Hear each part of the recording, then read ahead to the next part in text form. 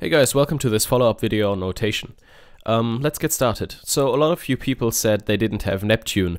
I wonder why, wink wink. And um, they still wanted to uh, get the tips on notation though. So um, this is what I'll do.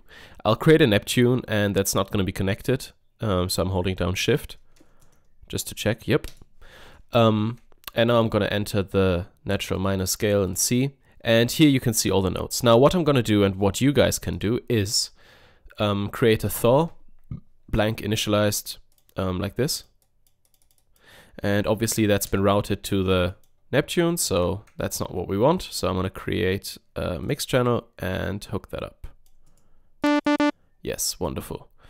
Okay, now I don't need the velocity lane and I don't need block mode. Um, all right. See, I'm recording this in uh, 720p resolution, which is um, really uh, unusual for me because I'm usually on a 24 inch uh, screen. So yeah. Okay, now what I'm going to do is I'm going to scroll to this Neptune here and start drawing by drawing a group, and then I'll um, basically copy the notes from here to the note lane. So I'm just going to switch to bar and copy the notes over. And I forgot this one. All right. Now, if I were to play this back, it would sound pretty bad because it's enti an entire scale. But you can keep this group handy um, at the beginning of a phrase and maybe set up your loop here. And now start by drawing in some arpeggios maybe. So I'm just going to switch to sixteenths here.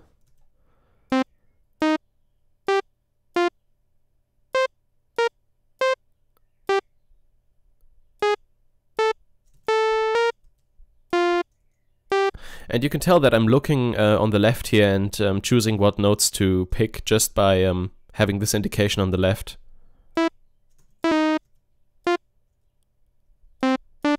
So let's just see how that sounds. I basically just put random notes. Alright,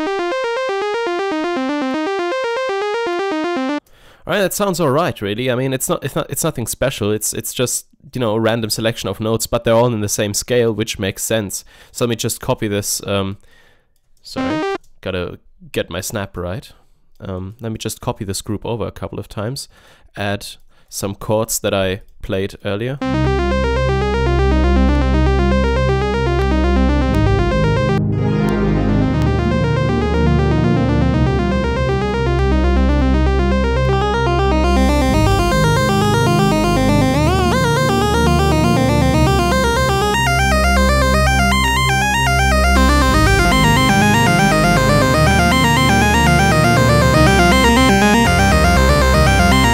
Alright, you get the point basically.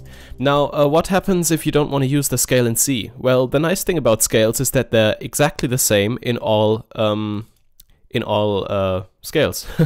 so basically, if I had a song, let's say in F, I would just... Sorry? I would just... Let me turn this down a bit here. I would just move this up to F. So just grab the no lowest note, put it to F.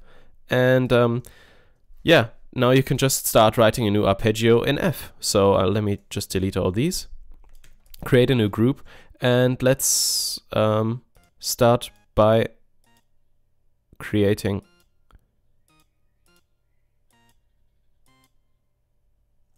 another arpeggio. And now, of course, you'd have to transpose these as well. So I'll just join these clips, select all, move them up to F, and uh, copy paste. Turn this back up. And uh, yeah, just another cop. Sorry, um, I'm noobed out. I haven't used Reason in like three weeks, so I'm kind of struggling right now. But let me just copy this over just uh, to prove my point here.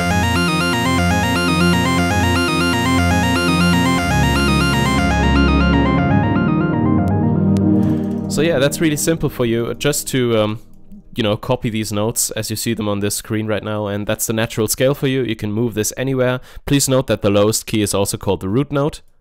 And uh, yeah, have fun uh, trying to create your own melodies, which should be much simpler now.